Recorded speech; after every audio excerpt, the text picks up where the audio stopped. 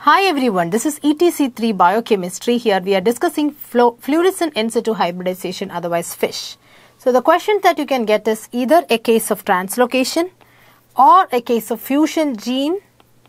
These are the questions asked and FISH is a very frequently asked question in the previous years.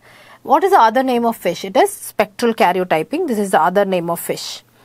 So in a simple way, if I am saying fish is coloring of the chromosome with the unique fluorescent labels. And remember, this is we are not taking the chromosome out of the cell. It is it is in the place where it is actually.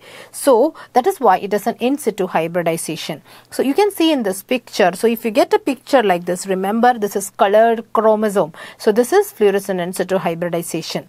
What are the applications of fish? Number one, we can detect gene deletion. So a case of Cri-du-chat syndrome can be asked where we know that there is a 5p deletion or a case of gene amplification can be asked. Any structural abnormality. So you can see what is a structural abnormality here. It is a translocation. So any structural abnormalities like translocations, isochromosome, ring chromosome, if a scenario is asked, it is the technique is fish then numerical abnormalities like trisomy or monosomy. So this you know this is a trisomy.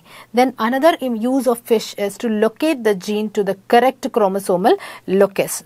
Then if you get an image like this, what is this? This is also a fish but this fish is different. It is an interphase fish.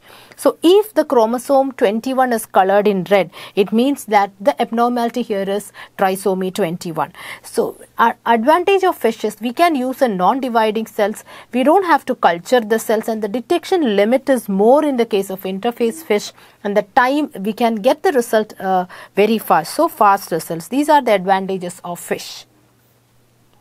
So that's about fish. Stay blessed, stay happy and stay connected and follow for more. Bye-bye.